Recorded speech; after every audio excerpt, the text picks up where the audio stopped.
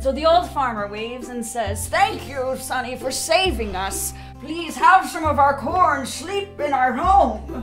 How much gold does he have? There's no gold here, Sonny, but um, there's uh, food and lodging and news. I Uh, might as well get some XP. I stab him.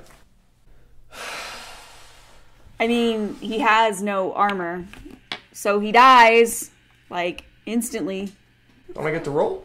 You get an extra 5 XP for killing an old innocent farmer dude with no gold, no armor, no ill intentions.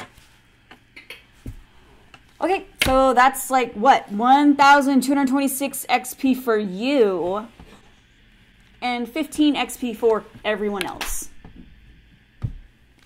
Okay, that's where we'll leave off for tonight then. Already? Same time next week? Maybe. Hey, do you want to ride? Oh, don't worry. I live right around the corner. I'll just walk.